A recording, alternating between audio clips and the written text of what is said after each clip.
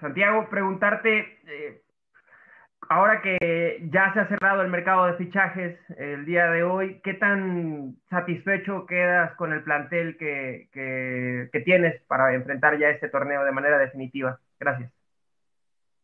Bueno, el mercado, si bien creo que son, ¿qué hora es? Todavía no ha cerrado. Yo creo que es una buena pregunta para la semana que viene, porque el mercado todavía no ha cerrado y, yo tengo mucha experiencia en fútbol y pueden pasar muchas cosas en, las últimas horas. Eh, yo, yo, lo que te puedo decir, más allá de eso, de, cómo sea la plantilla definitiva, que la semana que viene la, sabremos todos en nuestra plantilla, yo estoy muy contento con, con el desempeño de cada uno de los integrantes eh, de la plantilla y, de todos los que vinieron hoy aquí. ¿no? Eh, también cómo están trabajando los lesionados y, aquellos jugadores que se tuvieron que quedar porque están recuperando del COVID y ya están saliendo. Eh, me parece que, están trabajando de manera muy seria y muy profesional y, con muchas ganas de hacer las cosas bien y yo por eso los tengo que felicitar a todos. Así que ya, si quieren, la semana que viene hablamos de, de cómo quedó conformada la plantilla. Gracias. Gracias. Siguiente pregunta, ESPN. Muchas gracias, Ana. Hola, Santiago, ¿cómo estás? Eh, buenas noches. Te saluda César Caballero de ESPN. Platicarte un, eh, preguntarte un poco sobre el partido, qué sensaciones te ha dejado el equipo el día de hoy. Parecía que se llevaban una victoria y al final, bueno, con esa jugada desafortunada de Oscar Jiménez viene el empate. Pero ¿qué sensaciones te ha dejado el equipo? La sensación es esa, ¿no? De que vinimos aquí por los tres puntos y que, y que de merecimiento de llevarnos esos puntos, ¿no? Eh, si bien fue un partido disputado, eh, trabado por momentos, equilibrado en el primer tiempo, eh, a medida que transcurrían los minutos íbamos encontrando nuestras ocasiones y, después del gol tuvimos algunas ocasiones como para, como para rematarlo, ¿no? bueno, con respecto a la jugada del empate, ¿qué te puedo decir? Una jugada que gana Henry en, en, en, el centro y, y, de pronto de una posible jugada de gol, luego vino el empate del otro lado, pero el fútbol es así. Y, y la sensación es esa, satisfacción con el trabajo realizado por, por los jugadores a nivel individual eh, y a nivel colectivo. Seguimos creciendo de a poco, tenemos mucho trabajo por delante eh, y muchos partidos por delante. O sea que eh, en la senda, pero con, con, con espacio para crecer y para seguir mejorando. Gracias. Siguiente pregunta, Fox Sports.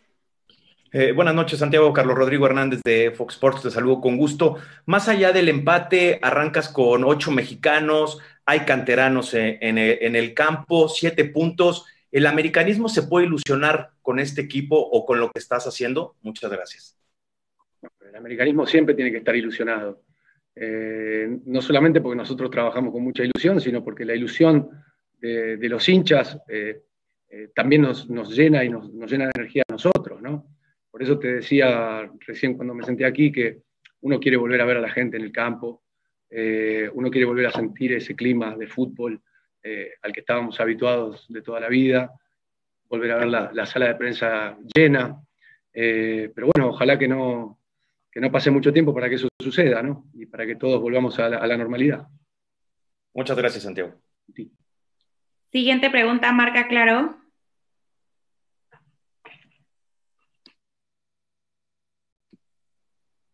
Marca claro. Eh, servicio informativo en deportes. Gracias, Ana. Buenas noches para todos. Buenas noches, Santiago Solari, Orlando Castellán, Servicio Informativo en Deportes. Van cuatro fechas. Eh, ¿Qué tan evolucionado ves este equipo de la América? ¿Vas invicto? ¿Cuándo se verá ya todavía mucho más mejor este equipo americanista para, para ver la mano de Santiago Solari y que que los que están ilusionados con este equipo se pueda surgir esas expectativas que tienen sobre, sobre ti, este, Santiago. Gracias.